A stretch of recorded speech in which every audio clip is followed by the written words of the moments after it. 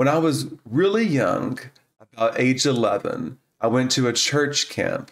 And it's like one of those summer camps that you go to, but you have church services at the end. And so, for the first time, I was told that I was going to be a minister, that I was going to play some role in the church, and I was going to influence people and, and bring them to God. Then at age 15, there was a traveling prophetess. This is someone who like hears from God and then they tell you what God is saying to them. And then you're supposed to kind of do what they tell you to do, take the steps that they give you, and kind of give you a path. And then at age 18, there was a group that was traveling around and they ended up coming to my church. And it was confirmed again that's what I was supposed to do with my life. I was supposed to be a minister. That's what I was born for. That's what God created me for. He created me to be someone who read the Bible all the time, who prayed and fasted and listened to Him, and that I would go in front of a group of people and I would tell them what God was telling me. So at age 18, I went to Bible school. I went to a group called Masters Commission, and they were a group that was affiliated with my church. I would compare it to a Mormon's mission. You would spend time traveling around the world or to different cities in the country, and you would spread the good news about Jesus. You would tell them that there's hope for you, there's a better life, there's a better way.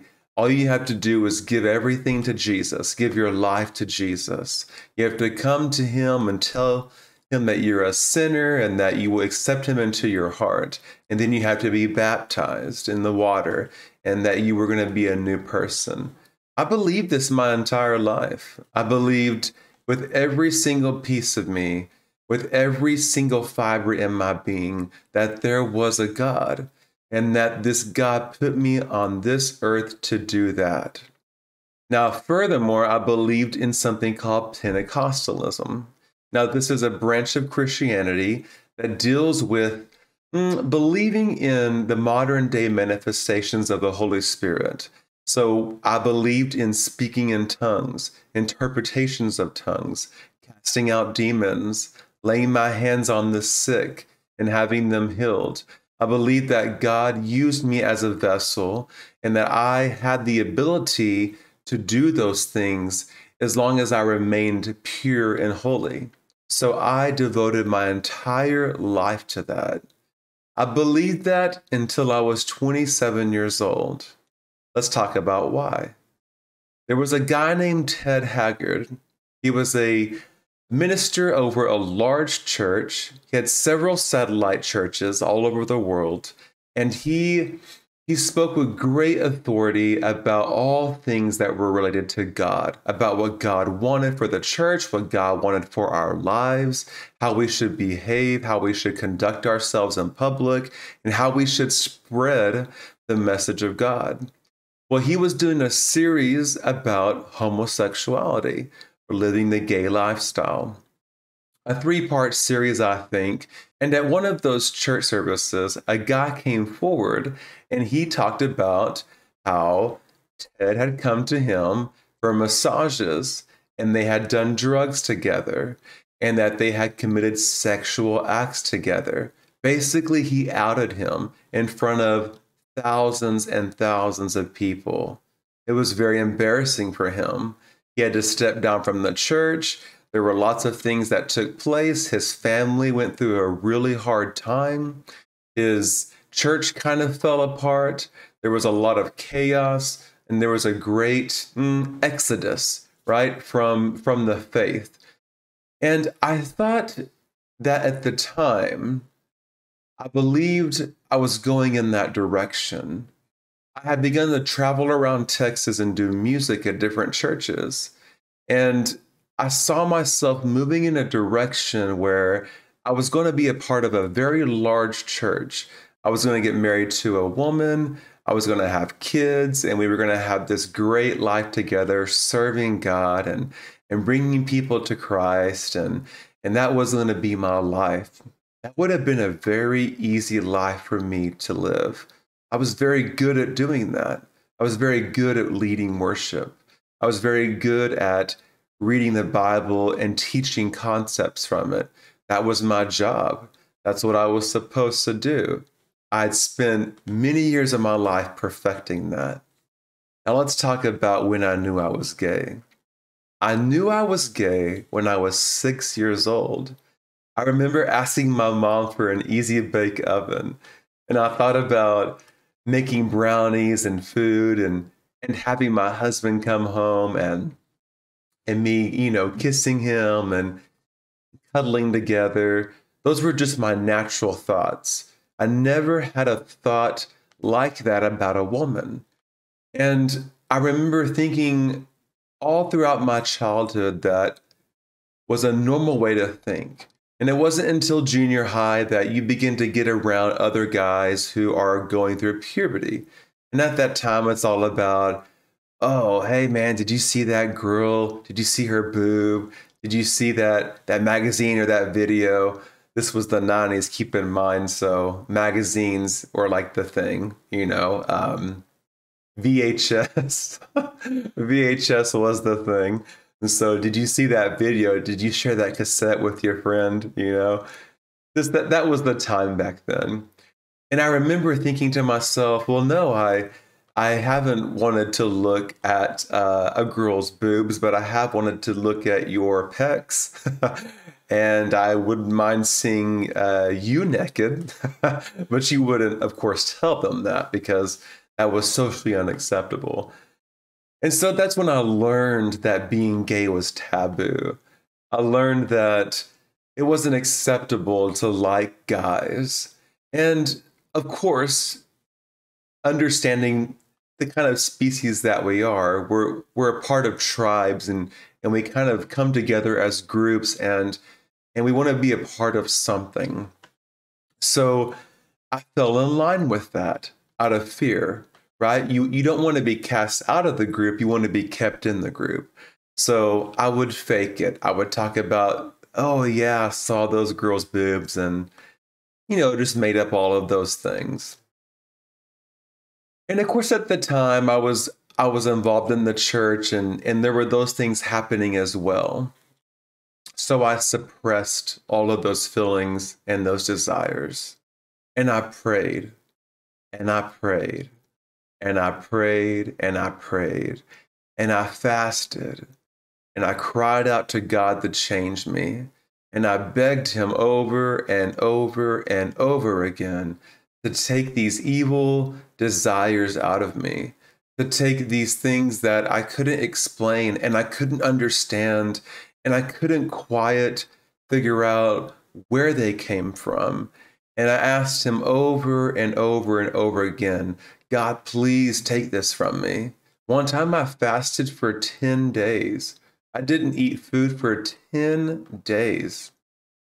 And that was because I wanted God to deliver me from same sex attraction. How sad is that? How sad to not eat food in desperation for a God to change you. I went on all these missions trips. I I cried out to God. You know, when I talk about prayer, I'm not talking about the God is good, God is great, let us thank Him for the chicken kind of prayer. You know, I'm talking about on your face at the altar of a church for hours praying. That's the kind of prayer that I'm talking about.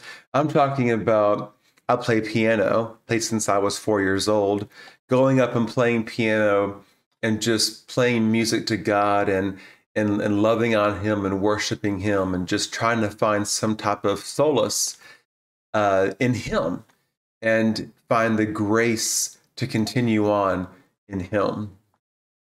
I tried. I tried for years and years and years. And then I finally just gave up.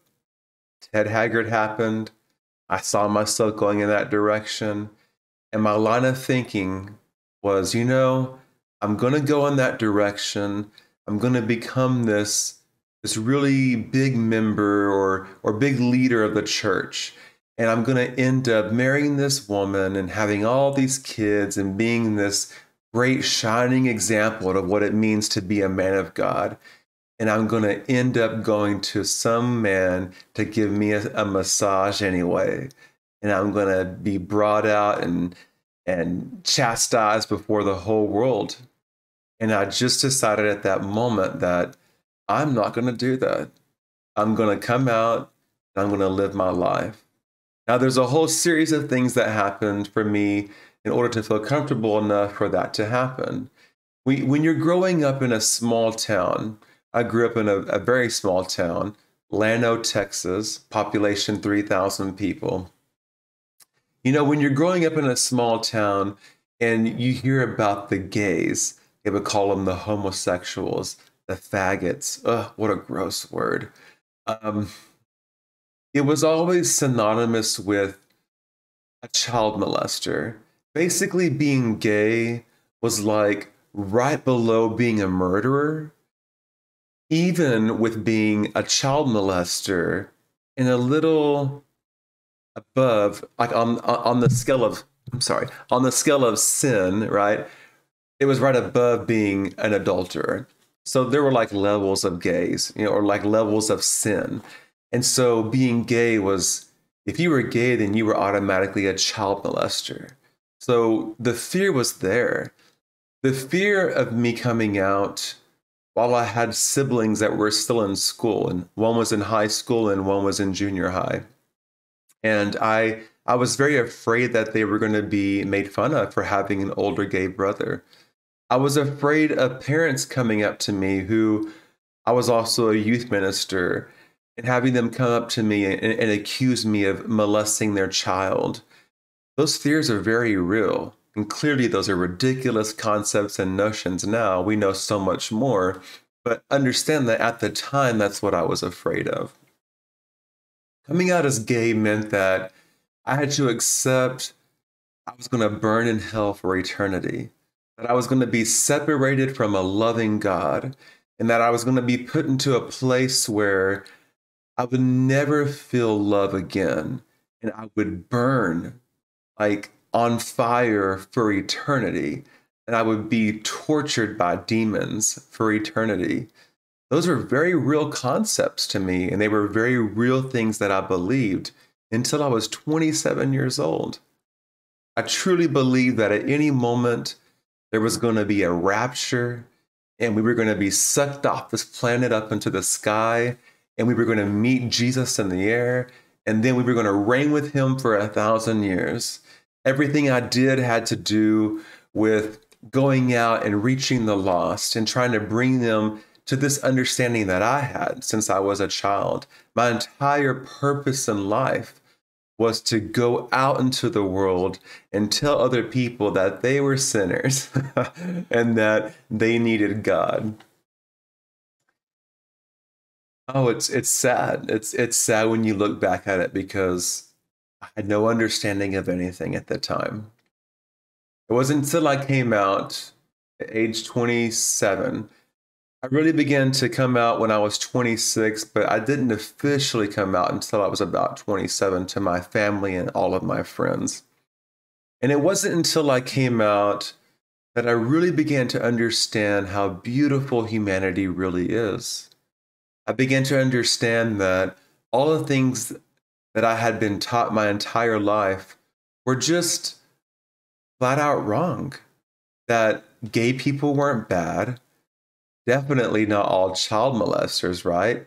Not all gay people are child molesters. That there was a lot of beauty in the gay community. I learned how to accept myself. I learned that I had deep internalized homophobia that I had to deal with. I went through years of counseling, years of therapy to work through those issues. And it was really, really hard. It was really hard to come to terms with the fact that everything I had been taught in life was just wrong. And that I had been raised in a bubble my entire life. It, it, the only way I can describe it is I felt like I had been raised in a cult. And I was in many ways. I was about two steps from actually being a part of a a very real Jonestown kind of cult.